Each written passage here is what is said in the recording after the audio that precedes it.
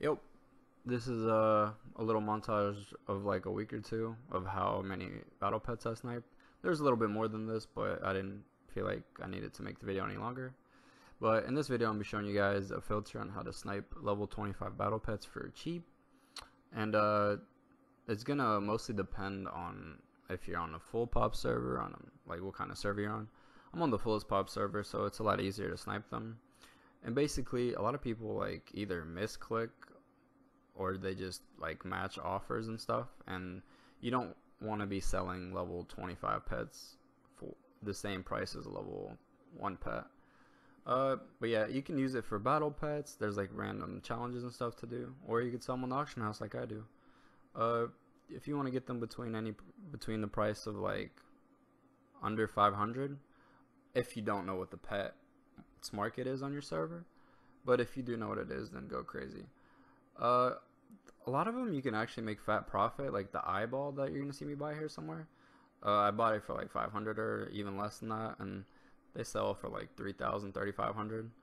Uh, there's more rare ones that sell for a lot more, but you're not really gonna snipe those because people aren't gonna misclick on those too often. Uh, these are just for like the cheap ones. Just a way to fill up your auction house to get some gold. And uh, I'm about to go into the tutorial right now. Hope this helps you guys, and yeah.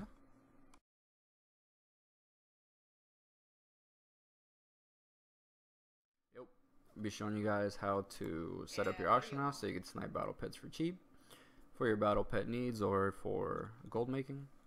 So you want to go to the auction house, go to the battle pets tab and click search and then you want to go to the price tab on the way on top and set it from lowest to highest. And after you do that you want to click the level tab to 25 and it should make it to where it gives you a level 25 pet that's cheapest in order.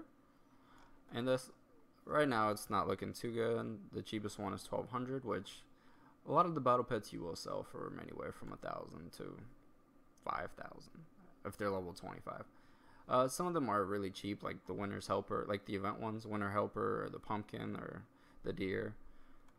But I mean, if you get it from anywhere from 50 to 500 gold, you can still make profit.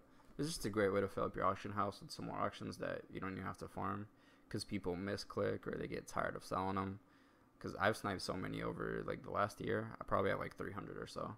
But I mean, that's basically how you do it. And let me know if this helps. I don't want to make the video too long. As you saw, all the ones I sniped, easy to flip them. And uh, yeah, peace.